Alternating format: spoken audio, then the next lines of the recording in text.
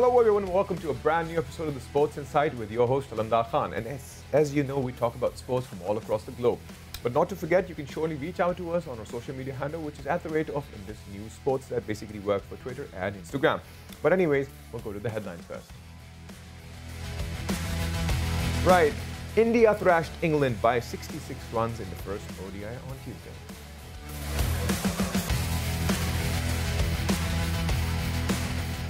And yes, New Zealand defeated Bangladesh by five wickets to take an unapplausible 2 0 lead in the three match ODI series.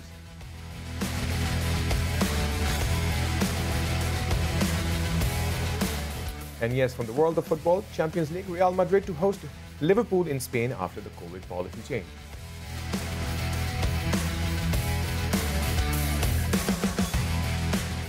And yes, from the world of NBA, Brooklyn Nets beat Portland Trailblazers 116-112.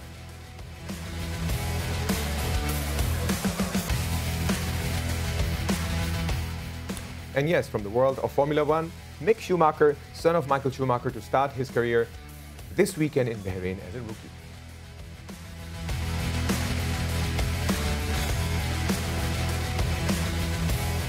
And yes, those were the headlines. And yes, we start with with regards to cricket. Yes, England versus India.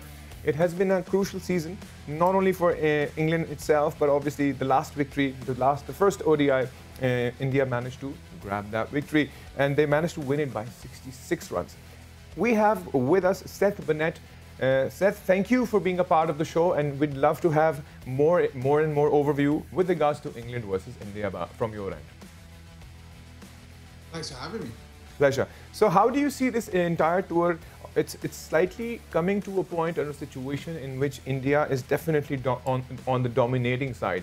Not to forget that England is a solid uh, team with regards to bat- batting side and obviously the bowling side. But slowly and gradually, things are switching from uh, you know if you talk about the tests. It went up away to India, and then then came to the T20s, and now the ODIs. What's your take on this?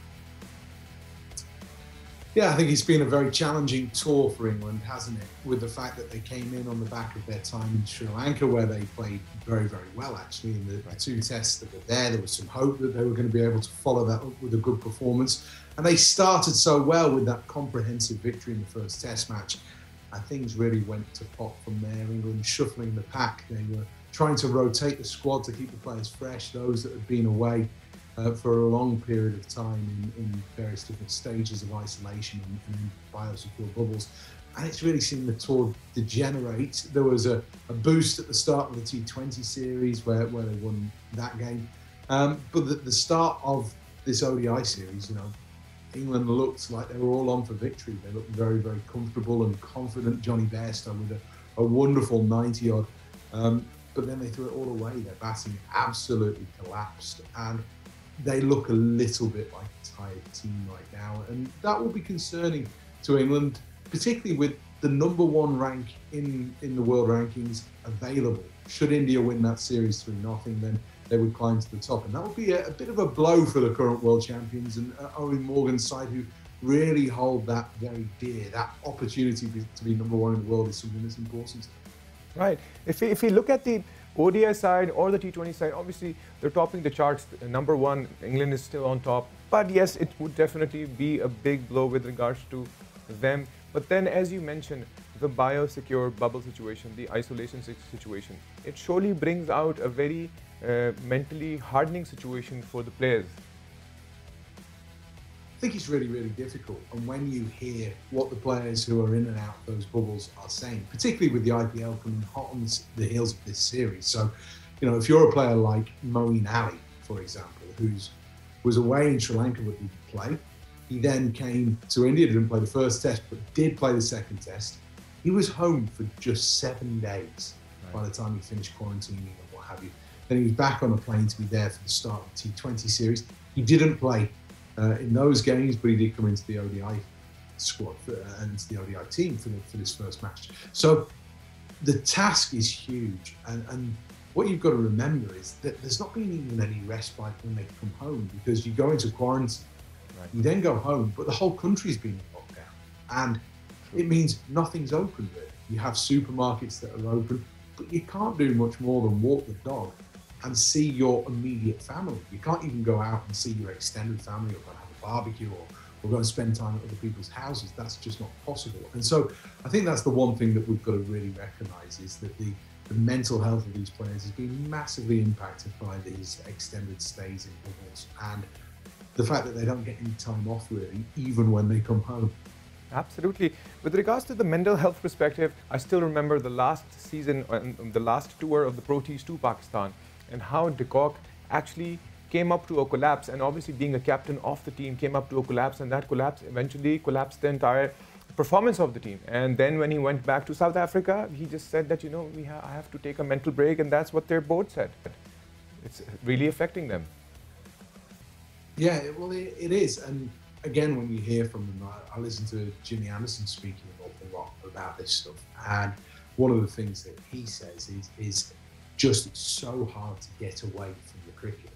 Right. And that means that if things aren't going well, then it stays with you. Not just for the time when you're at the ground, where, you know, in the good old days, you would have gone out for a nice meal with mates and you may have gone and found a bar somewhere and then enjoyed that experience of being in whatever culture you were in. Whereas now, actually, it's it's different. You know, in between test matches, you're just sitting and stewing on the fact that there's a horrific collapse in the in, in, the last match, and it's sitting there with you. You know, if you've got like Jonny Bairstow in the tests, he, he struggled to get any runs at all. He got a couple of ducks, and, and he w- he wasn't able to kind of free himself in the way that he would have wanted to, and it would have just gnawed away at him.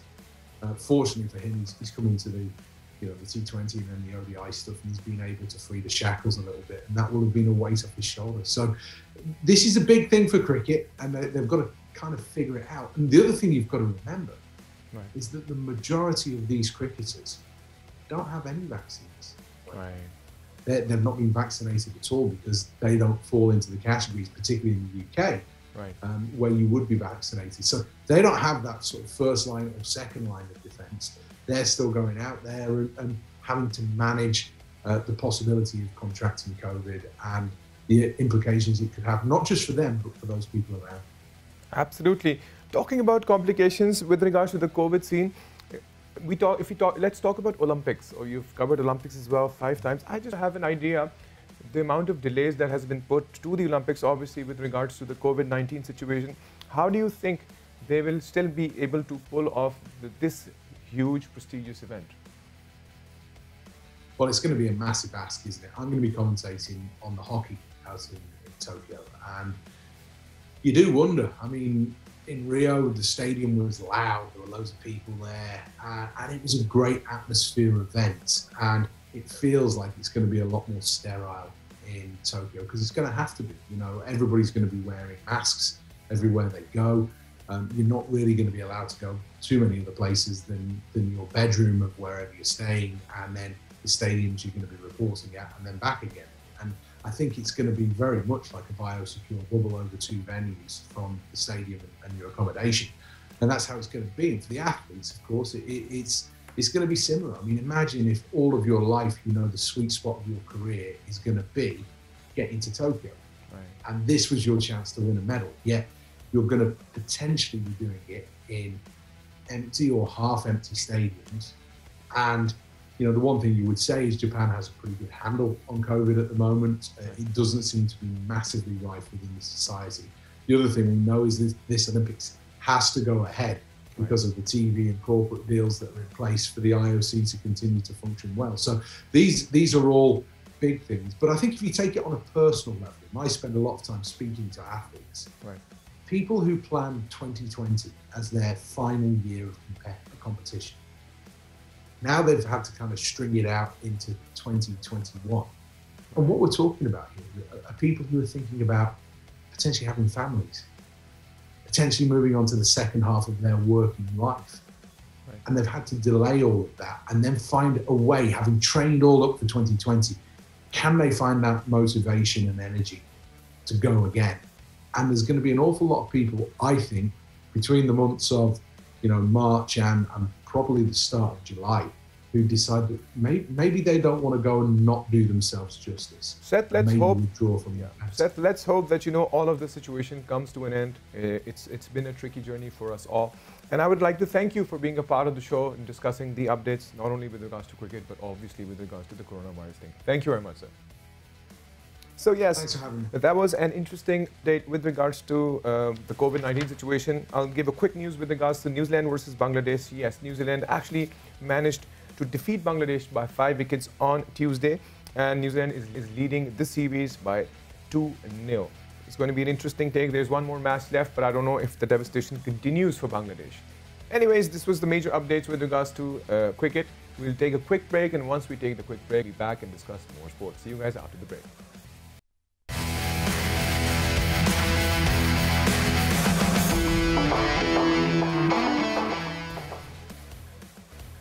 Welcome back. Yes, this was the break, and before the break, we did discuss a lot of cricket, but obviously, when it comes to our show, we added more and more stuff in regards to sports. But, anyways, we'll talk about football here.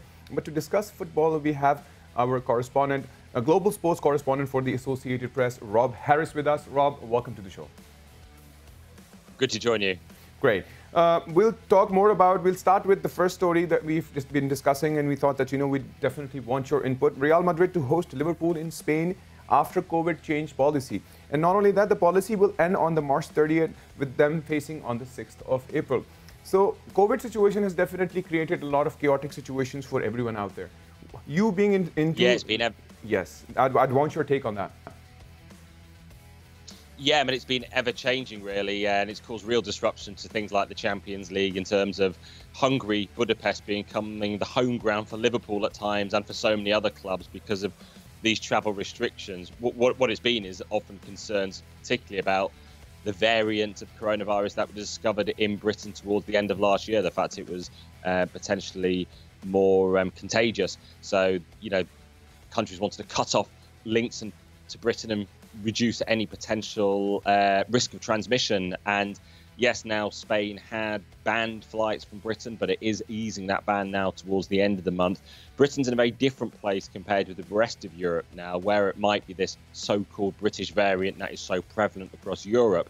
Right. Actually, and Europe is said to be in a third wave of the coronavirus pandemic. Britain is actually seeing case numbers and deaths considerably drop because almost 30 million of the the population have had at least one dose of a vaccine so far. So, in terms of Britain, the situation is going down, and uh, the longer term hope, as well as for things like Champions League games being played in their um, venues as planned, of course, is for the European Championship. The, the, the crucial thing is, well, this game will be played in Madrid now, this Champions League game for Manchester City. There won't be any fans in the stadium. So we're merely talking about the location of where to play a game in an empty stadium here rather than, um, you know, the, the venue mattering in terms of the ability of fans to travel. And of course, it's not like the players will be able to go out and about in Madrid either. They'll have to stay within the, the hotel too. So uh, it almost could be anywhere. And of course, being being uh, being Real Madrid, uh, being um, you know being Real Madrid for Liverpool as well. They're not even playing in the uh, in the Bernabeu because uh, that's currently being rebuilt. They're playing at the training ground. So right. actually, although Liverpool can go to Madrid to play the Champions League game, they're doing it to play at the training ground. Right. It's uh, one thing that's common these days. If you note the empty stadium syndrome, how are the players uh, helping themselves to cope with that? Because the enthusiasm is definitely because of the of the cheering, the people out there, the supporters out there.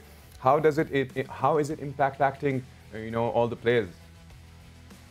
Well, it creates a different dynamic in the stadium because, for one, the players can't all sit together on the bench, so they have to spread out further back into the stand. And very often at stadiums, that means sitting very close to us because we as media are spread out as well. Right. So at Manchester City, for instance, Kyle Walker is on the bench quite a bit. Often is uh, so far back, he's very close to the media and he's sort of quite engaging in banter and he's sort of shouting stuff during the game and sort of engaging in it, turning around to us. Uh, you know, when you're at uh, Chelsea, the players, the substitutes are just a few meters often um, to my um, to my right in one seat I've been in, and uh, you know you're hearing everything going on. You're seeing some of the tedium there. Um, you see even in the warm up when they're um, you know w- when they're subs, the fact they will be chatting around with their opponents and even talking to photographers.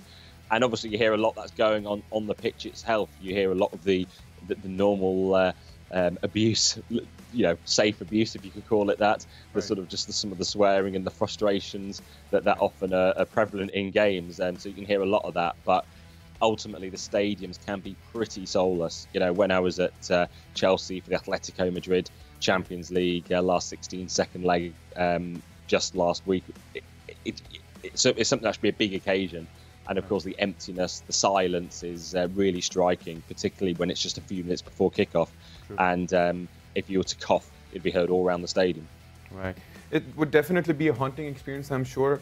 But I hope that you know this COVID-19 situation comes to an end. Anyways, we'll talk about the Tottenham Hotspurs victory against Aston Villa, 2-0. What's your take on that? And then we can further go ahead and probably discuss the standings. Yeah, man, what an important win that was for Jose Mourinho coming off the back of a really bad week. I mean, the North London derby defeat to Arsenal was one thing where, you know, there wasn't much of a fight until they were down to 10 men. But then the complete collapse at Dynamo Zagreb was, uh, you know, pretty humiliating for Spurs, really. The fact that they had been 2 0 up from the first leg, the fact that they had been, um, you know, pretty safe in a dire first half, but then completely collapsing and then losing in uh, injury time as well, and uh, so losing in extra time. And then we heard the uh, the criticisms of captain Hugo Lloris as well, questioning things about the team. Um, then going to Aston Villa on Sunday, and uh, you know, producing a win that was necessary to stay in touch with the top four. The fact they're only uh, about three points, I think, from Chelsea in fourth place gives that hope that they can make the Champions League. Because although they have the League Cup final against Manchester City right. next month, that could produce a first trophy since 2008 for Tottenham. Really, it's about getting in the Champions League and back again there and getting the, the revenue, particularly as they're still paying off the cost of this vast billion dollar plus stadium. But um, the win was so important for. Uh, for, for Mourinho and the fact that um, you know it, it, seems that Ben Davies even might have been playing recently with an injury. He was forced to pl- pull out of the Wales squad. Harry Kane, you know, he's now on England duty. There's three games he could potentially play in, and Mourinho will be absolutely fearful if he does play a significant amount of all three of those. So it's a real anxious time now, like for so many managers, as uh, you know the players are out on international duty. True. I think it's it's the complete struggle now, as you said that you know everybody's basically looking forward for being in the top four. To be honest, and I think this victory would surely add in more value to them. And if we if we look at the table right now, Manchester City definitely is is out there and dominating no matter what. Manchester United obviously making a comeback, but obviously he, they'll not be able to come to the point of you know grabbing the first position. But it's all about the it's, it's basically all about the top four. What's your take on your choice or you think would be the top four by the end of the season?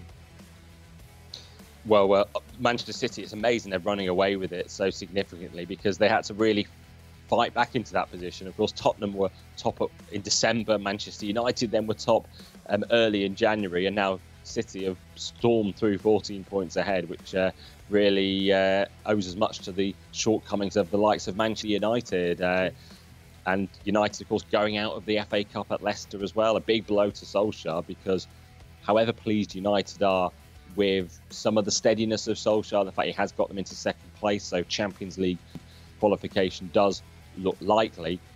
He's still not won a trophy yet, and you know, we've almost got used to this at Manchester United now, the, the, the lack of success in the post Alex Ferguson era since 2013. True. But for a club like Manchester United to have not won a trophy since 2017, since uh, Jose Mourinho won the uh, Europa League, four years, it's just, you know, it's incredible given what we got used to for so long under Alex Ferguson.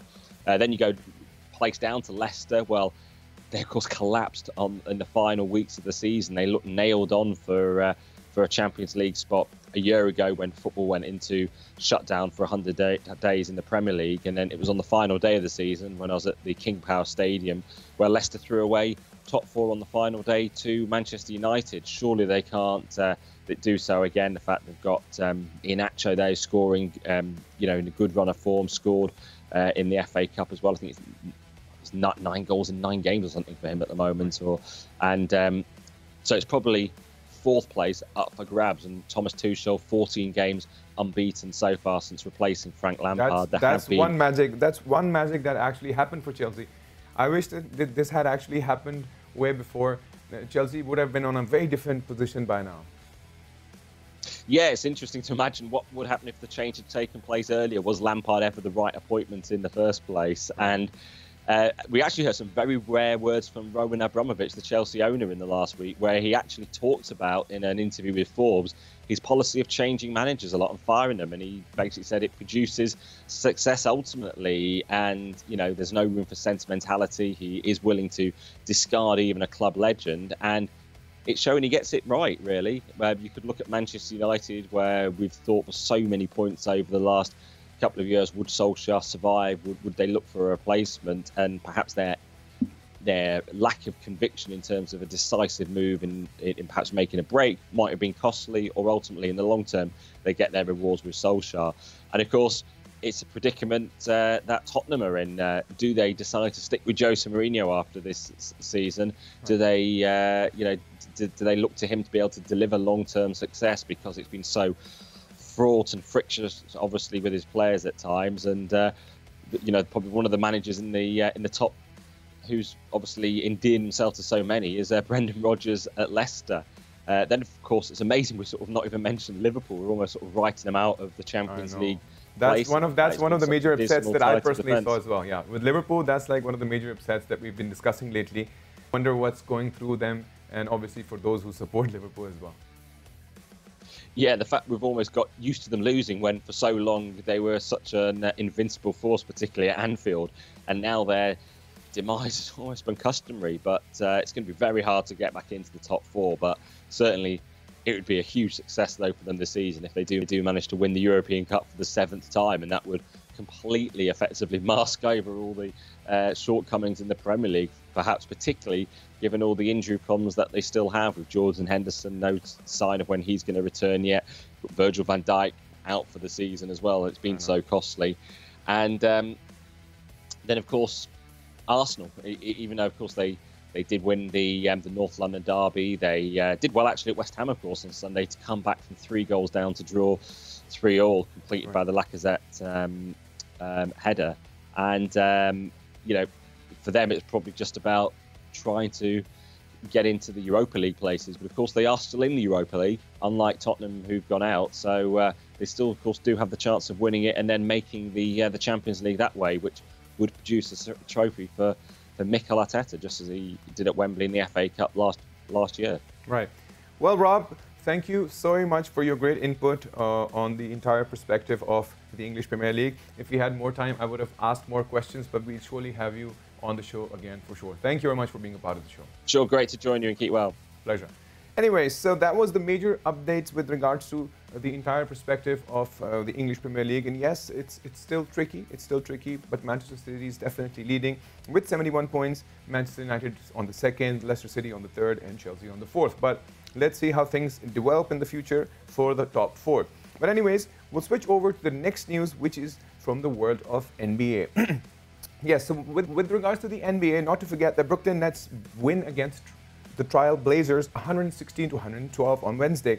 James Harden actually scored 25 points with 17 assists. And not to forget that Brooklyn then won 16 of their last 18 matches this season. Not to forget another thing that you know there was a lot of injuries in, in between of the team members, but uh, sometimes the trio didn't work like a trio because of a few injuries that actually uh, Kyrie Irving actually went through. But anyways, things are kind of shaping up for the Brooklyn Nets. But yes, the struggle is still on to be on the top of the charts. So that was from the world of NBA. I'll quickly switch over to the world of Formula One. Yes, we talk about Mike Schumacher.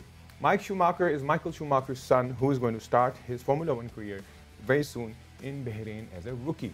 Yes, not always. We do remember the legend Mike Michael Schumacher himself.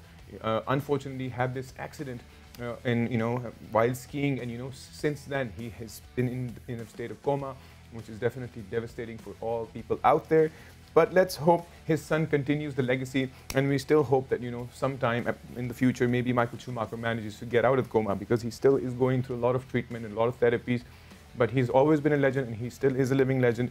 We hope for the best, and we also hope for the best for his son, because Mick Schumacher actually has to go out there, perform for the respect of his father, and he has to continue the same legacy which his father did.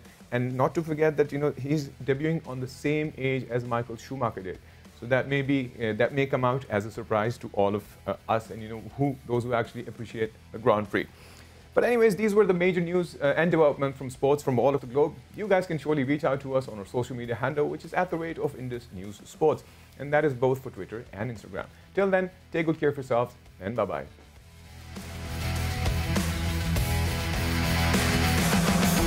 Bye.